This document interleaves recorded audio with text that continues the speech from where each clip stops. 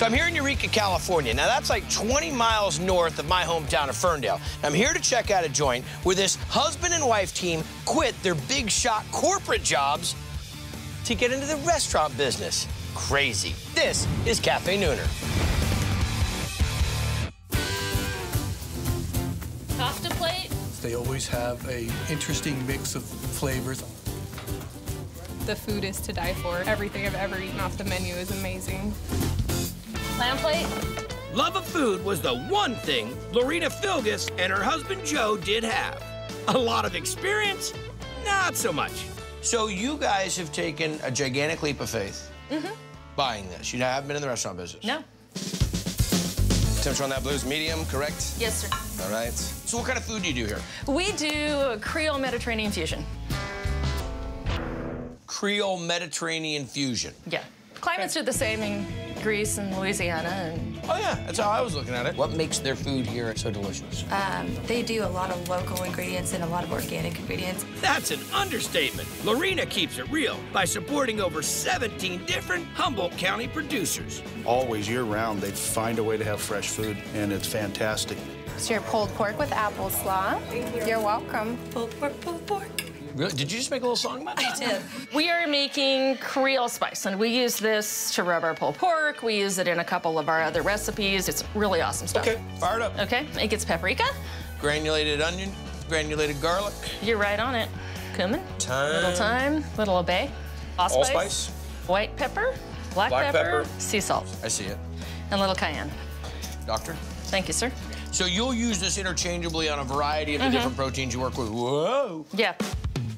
Okay. Pork butt. Basically, we're just gonna get this spice mix everywhere we can get it. Flip it over, because this is what's gonna make it taste good. And then I'm gonna do some Worcestershire, Sure, sure, sure, sure, sure.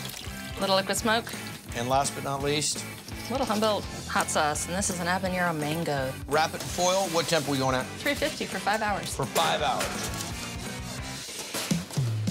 There you go. Looks like. Are you there? Yeah, someplace in here. okay, and then we're just gonna pull this the old-fashioned way, right in that juice. So now we're gonna go to the flat top Yep. to build a little crust on it. Mm-hmm. And put a little bit of our barbecue right on that. Oh, And then we're gonna put a little barbecue sauce on this side.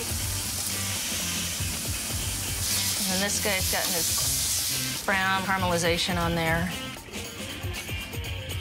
Now we dress it. Is this really how big this thing is? Yeah. Gets a little pickle and a pepper on it. Look at that. That is ridiculous.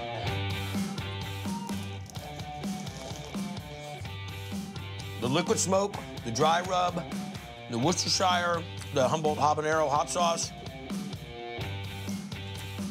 All of that together, that's some of the best out of the oven pulled pork I've had. Killed this. Oh. I don't know how they make it crispy and tender at the same time. Love it.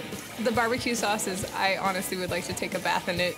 This was my English teacher in my sophomore year of high school. This is Mr. Politano. A man with a mustache my size, I need a stack of napkins to get into this sandwich. See how he sets it up vague at the beginning? He's not really talking about the food. He's just bringing you into the moment. And then you dig into the sandwich. Mm-mm, mm-mm. Oh, God, that's good stuff right there. Good job. Really good job. You're gonna love this. So that's it for this edition of Diners, Drive-Ins, and Dives. If you want to check out some of the recipes for the joints we visit, go to foodnetwork.com. I'll be looking for you next time on Diners, Drive-Ins, and Dives. I mean, everybody makes pulled pork. I'm a therapist. Yes, you are. Tell me about your mom. Oh, God, now you're therapisting me. Therapisting you. Yes, I, I coined that word. Tell you, man. Is that a real word? Therapisting? Uh, no, it's not. Thank you very much. I just now bring my English teacher with